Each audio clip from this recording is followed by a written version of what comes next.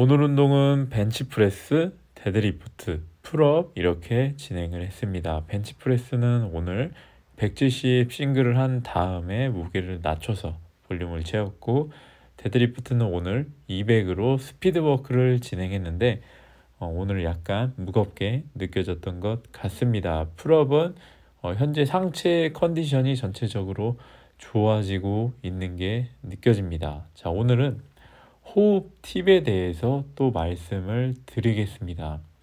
자, 많은 분들이 호흡을 할때 어, 이런 실수를 많이 하십니다. 뭐냐면은 예를 들어서 overhead press라고 예를 들자면 그 호흡을 미리 흉압을 채운 다음에 바벨을 갖고 나와서 그 다음에 이렇게 밀면서 제가 미는 구간 그러니까 팔을 다 핀 구간에서 호흡을 뱉고 다시 마시라고 이렇게 말씀을 드렸는데 근데 이때 호흡을 진짜 완전히 다 뱉으시는 분들이 계십니다.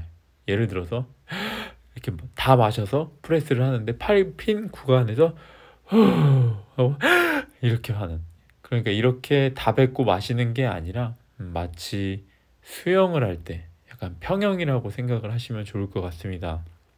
수영을 할 때 내가 공기를 한 번에 다 뱉지 않고 어느 정도 머금고 있는 상태에서 짧게 음파 음 파 이렇게 하듯이 어느 정도 공기를 머금고 있어야 합니다. 내가 다 뱉어버리면은 이 흉곽 전체가 약간 무너지기 때문에 이 몸통 전체에 어느 정도 타이트함이 유지되는 선에서 호흡을 뱉고 마셔야 합니다. 이거는 벤치프레스도 마찬가지고 그리고 다른 운동들도 마찬가지입니다. 특히 스쿼트를 할 때도 어느 정도 어, 언렉하기 전에 호흡을 채워서 어, 배를 단단하게 만들고 그 다음에 언렉을 하실 텐데 어, 그렇게 잡고 나서 뒤로 갖고 나와서 어, 다시 호흡을 마셔서 스쿼트를 할 때 이때 뱉을 때 서가지고 그냥 다 어, 이렇게 다 내, 내쉬어 버리는 분들이 정말 많습니다. 제가 보면은 그렇게 배, 다 뱉어버리는 게 아니라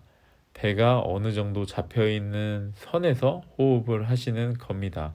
나중에 복압 잡는 게 좀 익숙해진다면은 복압을 잡은 상태로도 어느 정도 이야기도 할 수 있고 또 호흡을 쉴 수 있습니다.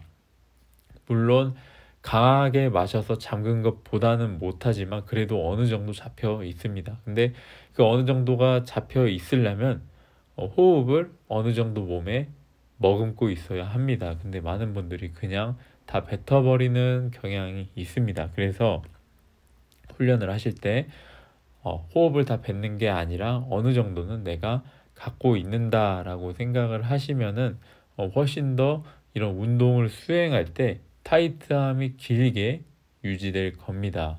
데드리프트 같은 경우에 호흡을 바닥에서 진행하기 때문에 그 중요성이 살짝 덜하긴 하지만 근데 많은 분들이 lockout을 한 다음에 호흡을 다 뱉어버리는 경우가 있습니다.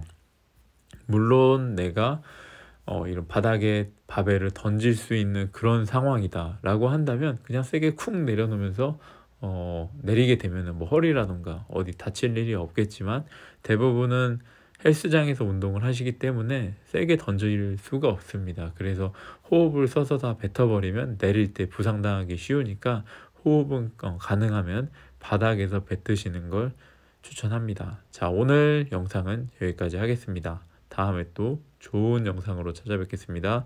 감사합니다.